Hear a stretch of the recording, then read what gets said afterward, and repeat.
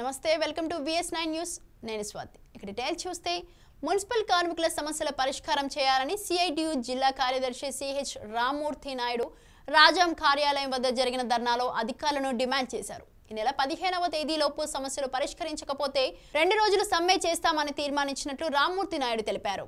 సమస్యలు కార్మికులవి పరిష్కరించడంలో అధికారులు చాలా నిర్లక్ష్యంగా ఉన్నారు.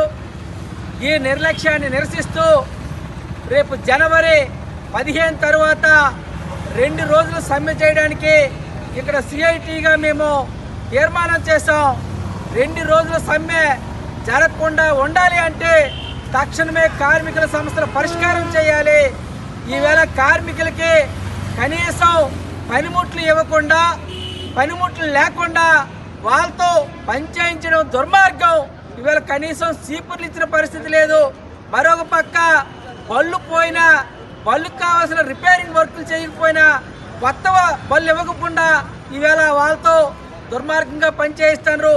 మరో పక్క కార్మికుల సంఖ్య గత రెండు సంవత్సరాలుగా పెంచాలని చెప్పి మేము అడుగుతున్నా ఈవేళకి కార్మికుల్ని కార్మికులను పెంచడం లేదు.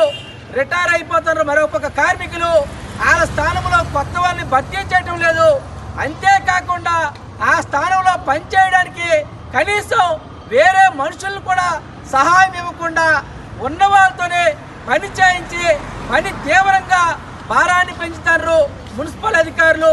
మరొక పక్క హెల్త్ అలవన్సులు కానీ గత ఐదుగురు ఐదు మంది కార్మికులకి గత సంవత్సరాల కాలం క్రితం జీతాలు పెండింగ్ ఉండిపోయాయని చెప్పి మేము అనేక దఫాలు అడుగుతున్నా కూడా ఏ వేళకి కూడా వాళ్ళకి జీతం